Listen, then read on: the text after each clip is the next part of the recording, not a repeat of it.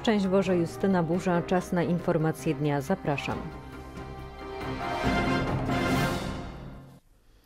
Biały Dom potwierdził wizytę prezydenta Stanów Zjednoczonych Joe Bidena w Polsce. O szczegółach mówił szef prezydenckiego Biura Polityki Międzynarodowej Marcin Przydacz. To już oficjalne. Prezydent USA Joe Biden przyleci do Polski. Na moje zaproszenie z kolejną wizytą do Polski przyjedzie prezydent Stanów Zjednoczonych Joe Biden. Polska będzie też współgospodarzem szczytu wschodniej flanki NATO i USA. Nasze relacje sojusznicze są silniejsze niż kiedykolwiek. Napisał na Twitterze prezydent Polski Andrzej Duda. Joe Biden spotka się między innymi z przywódcami bukaresztańskiej dziewiątki. Wizytę potwierdził Biały Dom. Od 20 do 22 lutego prezydent Biden przyjedzie do Polski. Spotka się z prezydentem Polski Dudą w celu omówienia naszej współpracy dwustronnej, a także naszych wspólnych wysiłków na rzecz wsparcia Ukrainy i wzmocnienia NATO. Spotka się także z przywódcami z bukaresztańskiej dziewiątki i grupą naszych sojuszników z NATO ze wschodniej flanki, aby potwierdzić niezachwiane poparcie Stanów Zjednoczonych dla bezpieczeństwa sojuszu. Ponadto prezydent Biden wygłosi przemówienie przed pierwszą rocznicą brutalnej i niesprowokowanej inwazji Rosji na Ukrainę, mówiła rzecznik Białego Domu. Media już od dłuższego czasu spekulowały o wizycie Joe Bidena w Polsce. Dziś możemy mówić o szczegółach. W pierwszej kolejności spotkanie dwustronne z prezydentem Andrzejem Dudą tutaj w Pałacu Prezydenckim. Pan prezydent Joe Biden planuje także w Polsce wygłosić przemówienie, przemówienie do Polaków, przemówienie podkreślające rolę Polski i Polaków w kontekście tego kryzysu,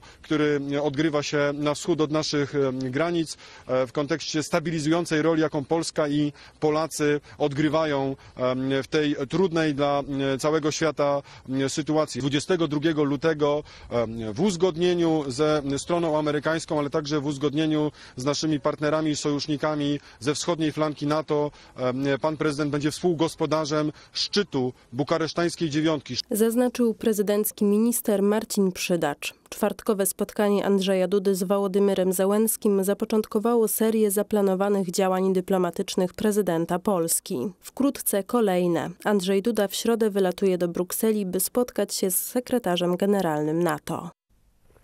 Rośnie liczba ofiar poniedziałkowego trzęsienia ziemi, które nawiedziło Turcję i Syrię. Nie żyje blisko 25 tysięcy osób. Polskiej grupie ratunkowej Huzar udało się wydobyć spod gruzów kolejną osobę. Mamy to dwunasty uratowany człowiek, wiele godzin walki, brawo, mistrzowie, duma. Napisał na Twitterze Andrzej Bartkowiak z Państwowej Straży Pożarnej. Choć z godziny na godzinę szanse na znalezienie żywych osób maleją, nadal pozostaje nadzieja. Wczoraj po upływie ponad 100 godzin od trzęsienia ziemi wydobyto spod gruzów sześcioosobową rodzinę. Polscy strażacy pozostaną w Turcji co najmniej do 16 lutego a to już Syria.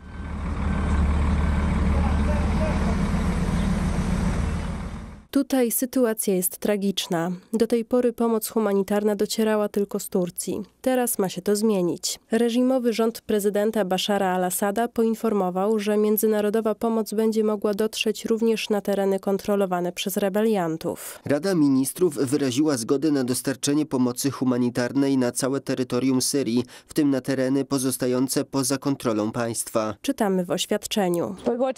Teraz najważniejsze jest to, abyśmy uzyskali dostęp do wszystkich części północnej Syrii, aby pomóc ludziom, którzy potrzebują naszego pilnego wsparcia. Nigdy nie należy utrudniać bezstronnej pomocy humanitarnej ani jej upolityczniać. Musimy mieć do niej dostęp. Musimy być w stanie dotrzeć do dotkniętej populacji. Mówi szefowa Międzynarodowego Komitetu Czerwonego Krzyża. Organizacja Narodów Zjednoczonych szacuje, że w Syrii na terenach dotkniętych trzęsieniem ziemi bezdomnością zagrożonych jest ponad 5 milionów ludzi. Organizacje humanitarne wyraziły również zaniepokojenie w związku z ponownym rozprzestrzenianiem się w Syrii cholery. Platforma Obywatelska broni Radosława Sikorskiego, który od kilku lat otrzymuje pieniądze od Zjednoczonych Emiratów Arabskich. Tylko w ubiegłym roku eurodeputowany otrzymał od szejków 100 tysięcy dolarów. Holenderski dziennik NRC opisując aferę katarską poinformował o dochodach, jakie Radosław Sikorski otrzymuje od Zjednoczonych Emiratów Arabskich. To 100 tysięcy dolarów za zasiadanie w zarządzie konferencji Sirbaniyas.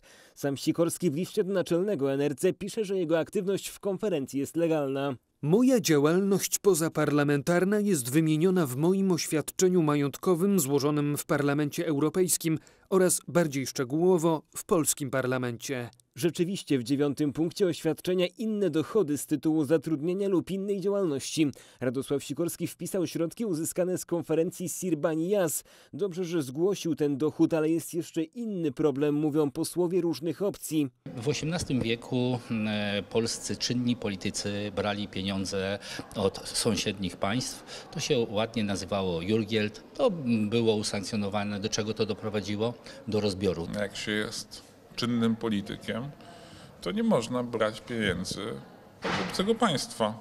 Także eksperci zwracają uwagę na problem pobierania przez polityków pieniędzy od rządów obcych państw. Problem polega na tym, skąd te pieniądze wpłynęły i tak naprawdę za co one są. Bo 100 tysięcy od Ministerstwa Spraw Zagranicznych Zjednoczonych Emiratów Arabskich Radosław Sikorski otrzymywać ma za doradztwo.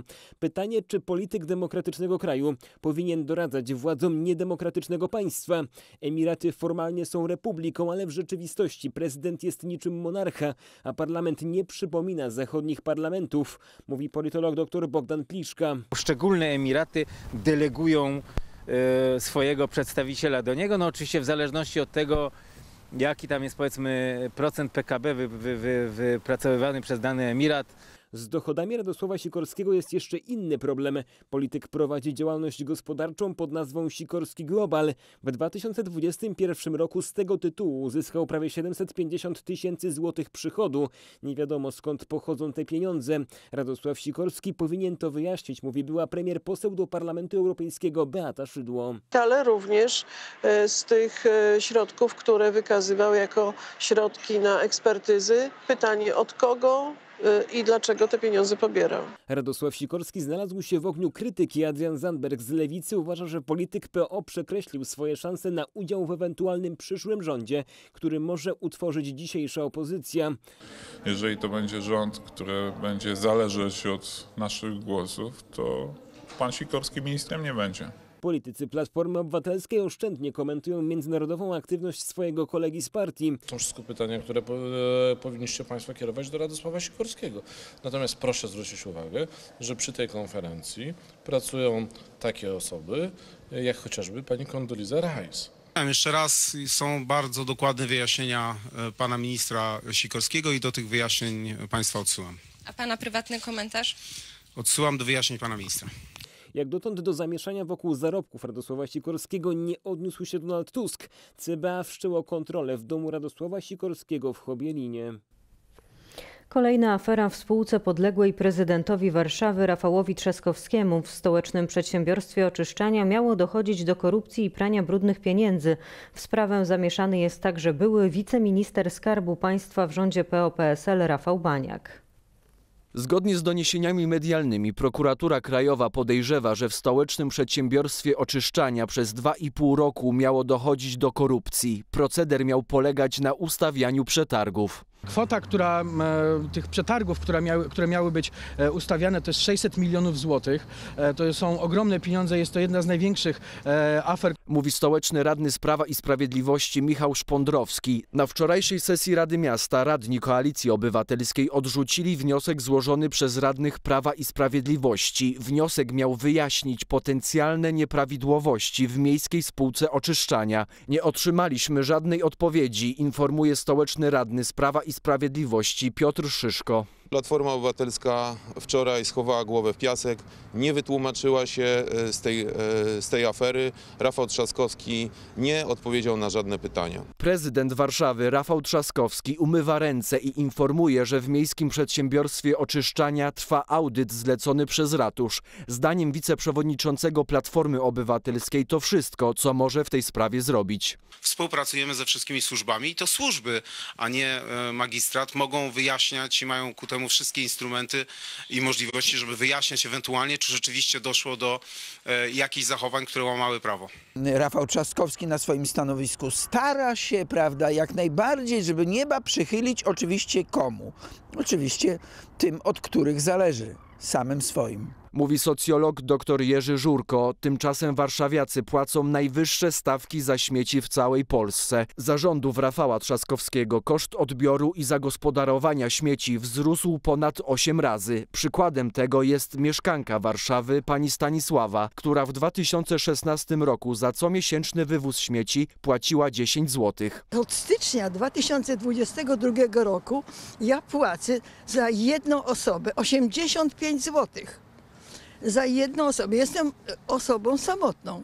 Dla starszych osób taki wzrost stawek odbija się na ich codziennym życiu. Śmieci to sprawa jakaś nieuczciwa. No nie jest możliwe, żeby y, z miesiąca na miesiąc śmieci kosztowały 750% więcej. Sprawę bada Centralne Biuro Antykorupcyjne. W związku ze śledztwem zatrzymany został prezes pracodawców RP i były wiceminister skarbu w rządzie PO-PSL Rafał Baniak. Otrzymał od śląskiej prokuratury zarzuty m.in. kierowania zorganizowaną grupą przestępczą oraz powoływania się na wpływy, informuje Arkadiusz Puławski z Departamentu Bezpieczeństwa Narodowego. Grupa ta wprowadzała do obrotu faktury VAT na fikcyjne usługi dotyczące wywozu i utylizacji nieczystości z terenu Warszawy. Rafał Baniak miał wejść we współpracę z przedstawicielem jednej z grup kapitałowych zainteresowanych uczestnictwem w przetwarzaniu odpadów. Kontrakty zaś miały być warte 600 milionów złotych. Sam Rafał Baniak i jego współpracownicy mieli wziąć łapówkę w wysokości prawie 5 milionów złotych. Politycy PO chronią swoich ludzi, twierdzi radny stołeczny z Prawa i Sprawiedliwości Dariusz Figura. To wszystko każe nam postawić zasadnicze pytanie. Czy w opłatach, które ponoszą warszawiacy jest nie tylko ta część za nieudolność rządów Platformy Obywatelskiej, ale również haracz łapówkarski dla działaczy Platformy Obywatelskiej. Klub radnych stołecznych SPIS planuje przeprowadzić w Miejskim Przedsiębiorstwie Oczyszczania kontrolę komisji rewizyjnej. A kolejne wydanie informacji dnia w południe. Do zobaczenia z Panem Bogiem.